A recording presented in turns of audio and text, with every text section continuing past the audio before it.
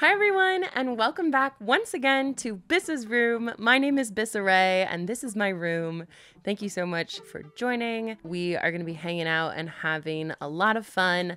Plan for today is we're going to do a little bit of a what I am watching roundup. This is going to be everything from TV to movies, as well as sports television that I enjoy talking about. I would absolutely love to hear in the comment section below what you're interested in, shows that you're watching. I'm just a girl, and there's only so much that I can really get into, but I am truthfully a TV junkie. I have always been a TV junkie. I definitely don't want to be missing anything if there are some standout moments that I need to check out. Before we get into today's topic, I do want to give a quick shout out to this wonderful hat that I am wearing. I actually picked up this hat at the Milwaukee Public Museum. I frequent often. I absolutely love going to museums and just supporting these local public spaces that are encouraging of learning and growth and healthy, safe activities outside of the bar scene, which so often can be so predominant, especially living here in Wisconsin, the country's drunkest state.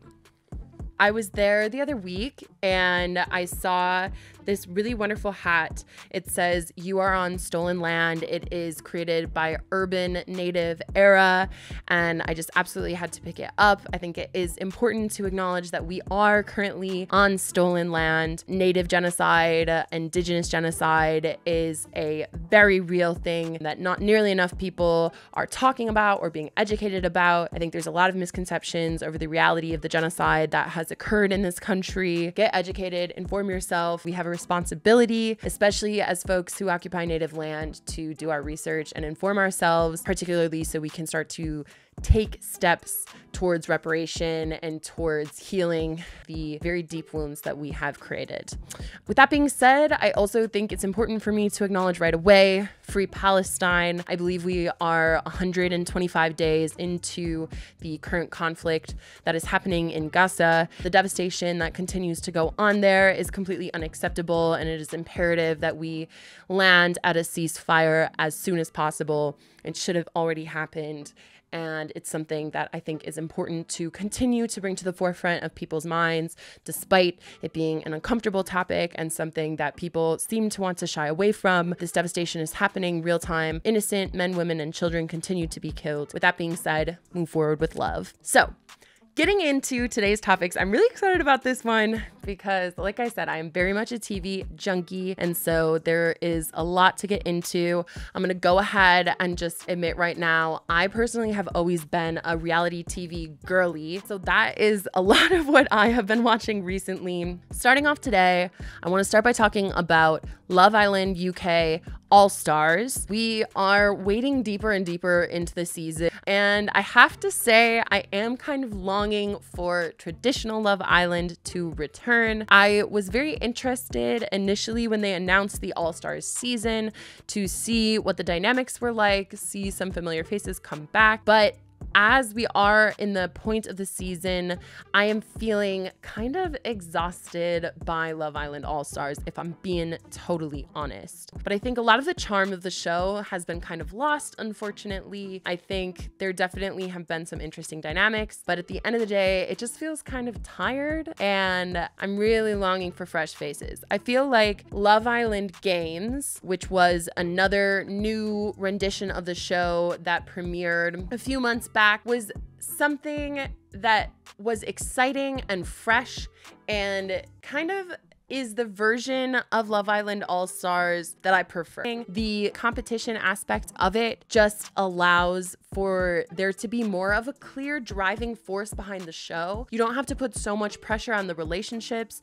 And I think the competitive aspect of it just keeps it a lot more fresh and a lot more fun. I think bringing in people across different franchises not only brings a certain level of intersectionality from an international global scale, but also just a lot of fun and a lot of different viewerships that can all kind of come and participate. Now, what I will say is, I am just an American girly. I'm sure that there is some merit and validity to being someone who lives in the UK. But what I'll also say is I've been watching Love Island since season one, and I know all these characters. I've seen them play the game, and unfortunately, it just reads as kind of disingenuous and ultimately, like I said, tiresome. We will see how things play out. If I'm being completely honest, I'm reaching a point where I'm kind of tired of watching. I don't know if I'm going to finish the season, and I would love to, but I don't know if it's worth my time. And it seems like the same dramas are just playing over and over again, and I am over it. Now, moving on to the other side of the coin, a reality TV show that I've also been watching for a fair amount of time, Bachelor season 28. We are officially three episodes in, and I have to say, I have been loving it.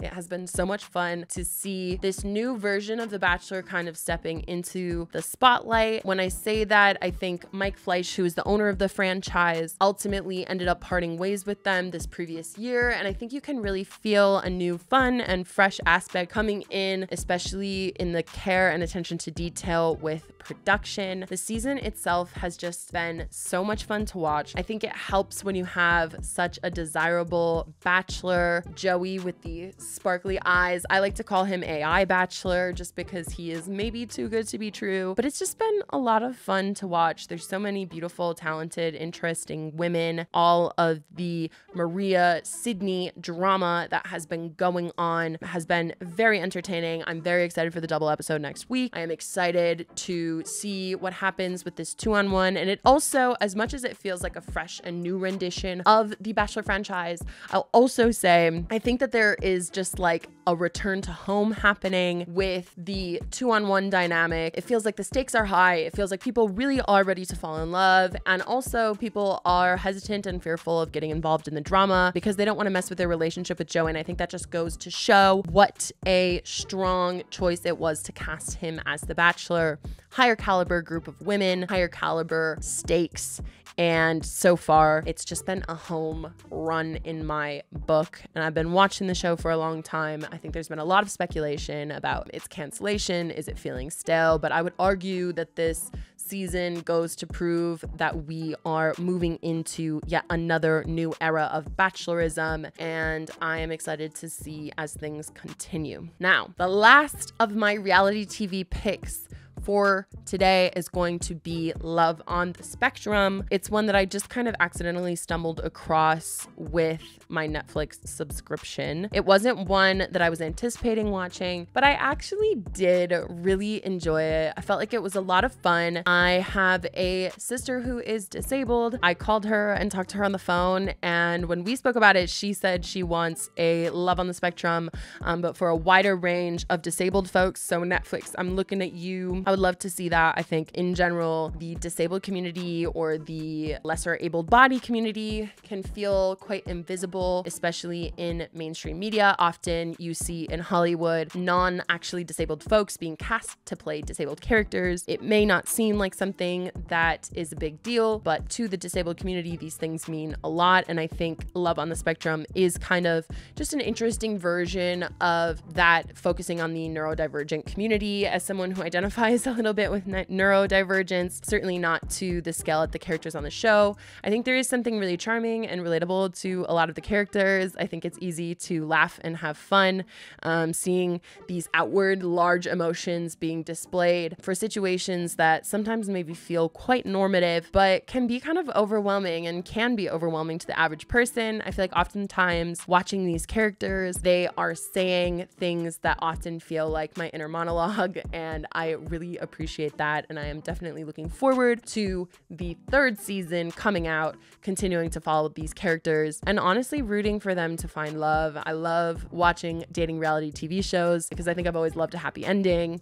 And despite the fact that a lot of these characters unfortunately do not find love, still a lot of fun and definitely one I would recommend tuning into. Okay, the next one on my list.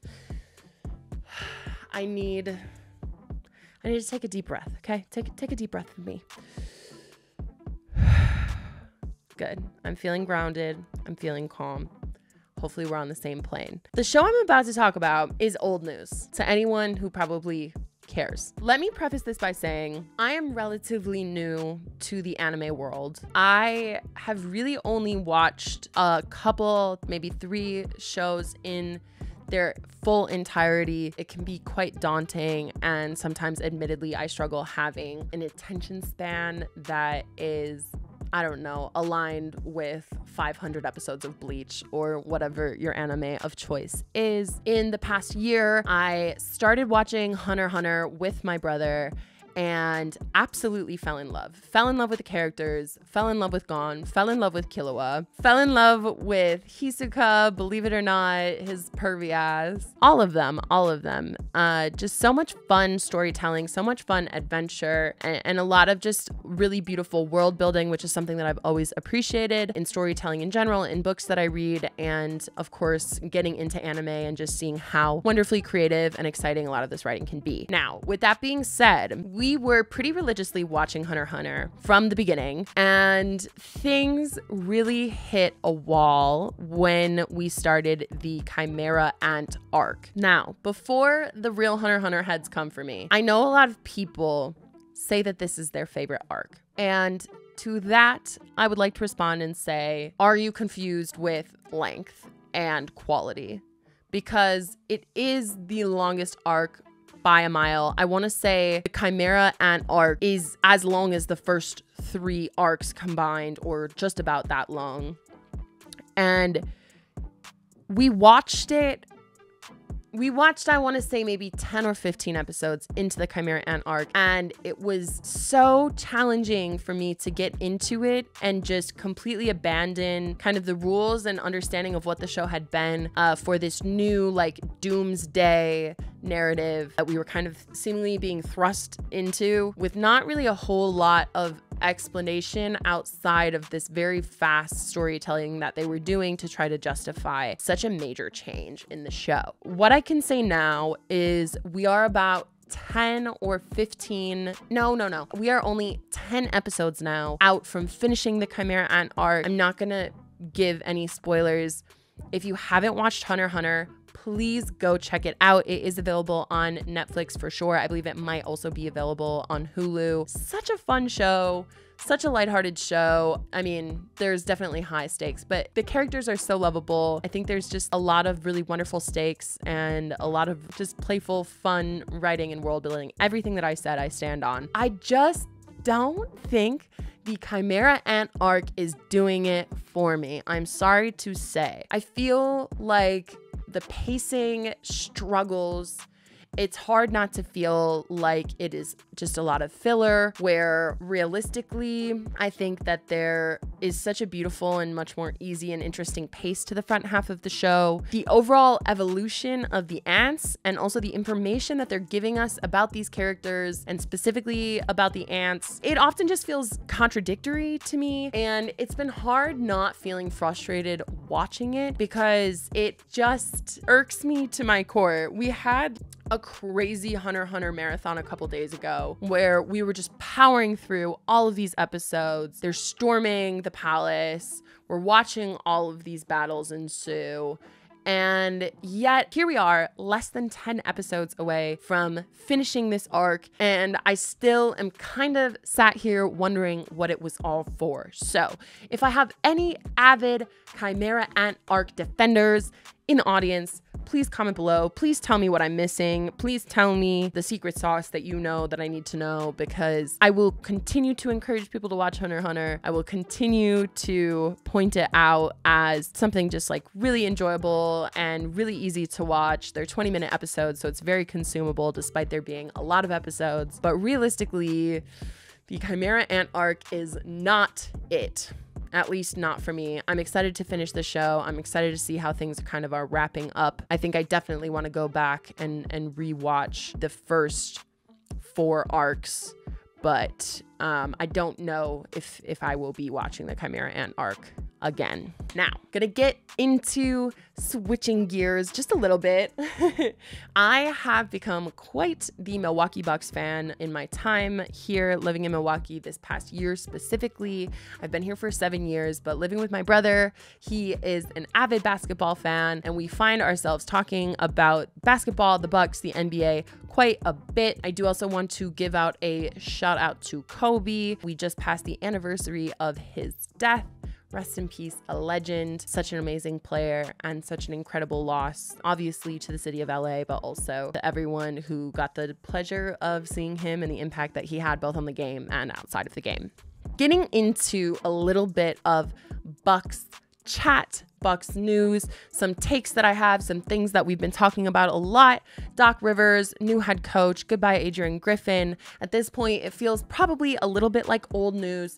What I will say is it has not been the smoothest run for Doc Rivers.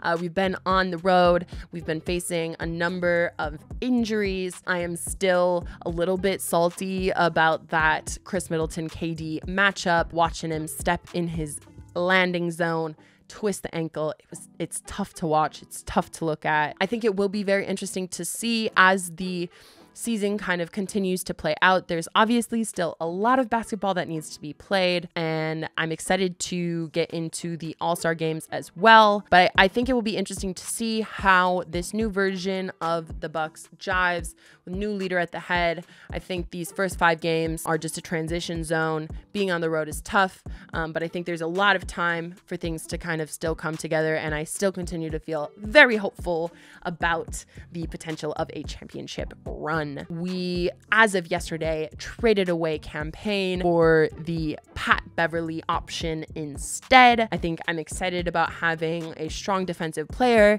Saw a little mock up of Vance in a Bucks jersey. He looks like he was made for it. So I'm excited to see if Pat Bev's influence on the Bucks is going to make us stronger in our defensive play and hopefully again put us in a position where we can take that chip. Uh, last but not least, uh, we got to give a farewell to Robin Lopez. No greater joy than to watch Brook Lopez absolutely acting shocked on the court while Robin Lopez is sitting on the ground, looking like he doesn't have a thought in his head. Such a funny guy. I can't say I'm overly going to miss him on the team. Mans was reading a book for his last game in Milwaukee, but I did want to give him a shout out for the crazy Fro twin. Last but not least, I've got a couple of movies that I do want to highlight for today. For starters, I'm going to start with a Disney classic. As I told you in my last video, I did unfortunately have to walk away from my job. So I'm currently out of work. I was feeling really sad about that. I was feeling really upset about that.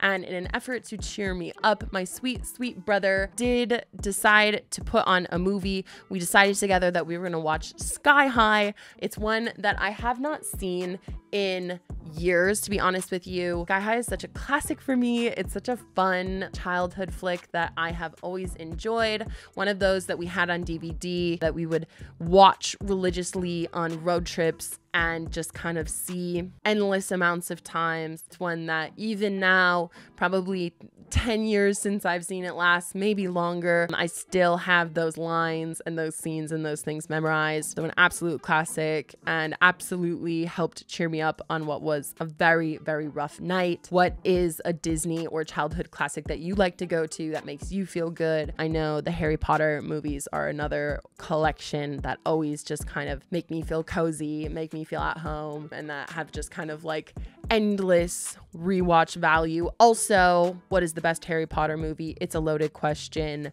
I'm not sure I have an answer for you. I think my most watched Harry Potter movie is the third. But as far as my favorite goes, I love the fourth. I love the sixth. This is a tangent. Let me know in the comments below. And then the last thing that I want to mention a week or two ago, a couple weeks ago, I believe, I did go to see Poor Things in the theater. It was kind of like a cold watch for me. I really went in with not too much knowledge, really, of what the movie was going to be at all.